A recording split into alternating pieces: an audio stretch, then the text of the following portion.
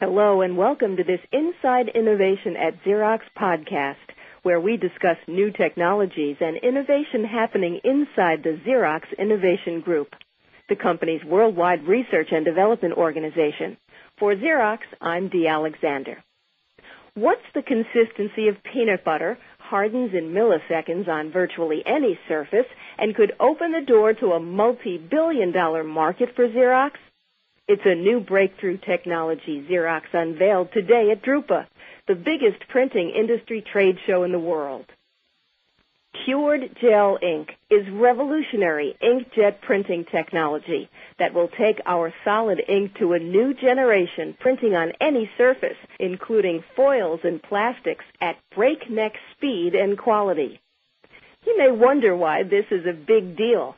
This technology promises to make digital printing more attractive in existing markets and to open up the packaging market to Xerox.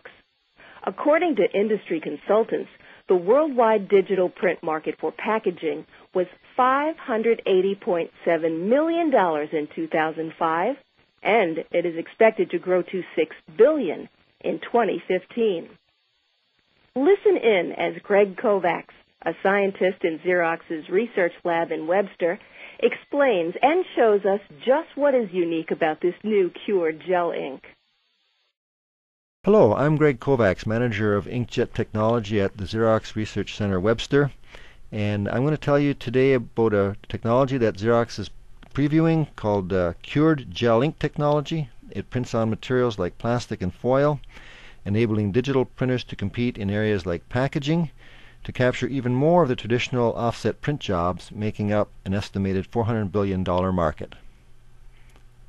The UV gel ink technology has grown out of our current solid ink technology, which is on the market today and forms the basis of a wide variety of desktop inkjet products. The advantages of solid ink are shown in this photomicrograph, which shows the ink spots formed by the solid ink when it hits the substrate. They're very well defined and stay on the surface, whereas conventional aqueous-based inkjet inks will soak through and give undesirable show-through on the back surface of the paper.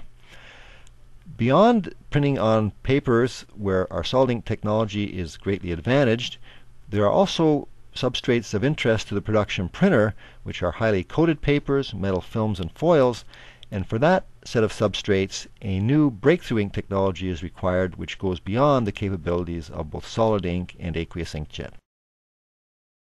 What you're going to see now is a conventional UV curable ink printing on aluminum foil.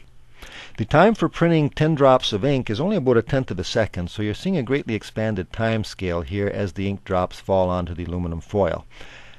Now we're going to look back and see in real time what happened in a space of 1 to 2 seconds after these drops were printed. And you can see that they've coalesced to a great extent and spread over large distances, no longer maintaining their shape and position on the substrate. In the next segment, we're going to look at the Xerox curable gel ink now, printing on aluminum. Again, in the beginning, the drops in this expanded time scale of about a tenth of a second while these initial drops are printing, they maintain their shape very well, as the conventional ink also did. But now as we look back in real time over a period of about one to two seconds, we can see that these drops have maintained their shape and are no longer spread out and uh, have no longer wandered from their position as the conventional ink did.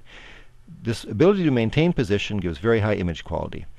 We're now going to look at the same type of imagery on another substrate, a packaging substrate called Melinex, which is a clear plastic substrate.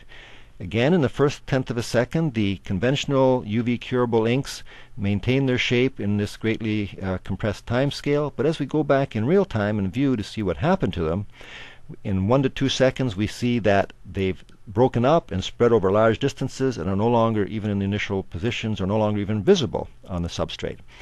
Again, looking at the Xerox gel curable ink, as it's impinging on the substrate in the first tenth of a second, the drops look well formed, well defined, and as we'll see when we scan back to look at them in real time over the first one to two seconds after printing, that in fact these drops have now maintained their shape very well they are exactly in the position where they should be, and they will produce very high image quality on this substrate.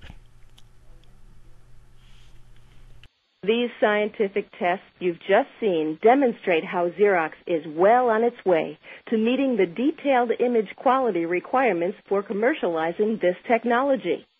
Stay tuned for more Inside Innovation news in the months to come.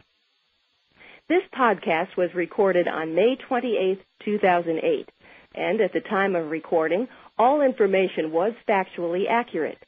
Because this will reside on the Internet for a period of time, Xerox assumes no duty to update the podcast to reflect new information. Listeners should visit www.xerox.com slash newsroom for up-to-date factual information.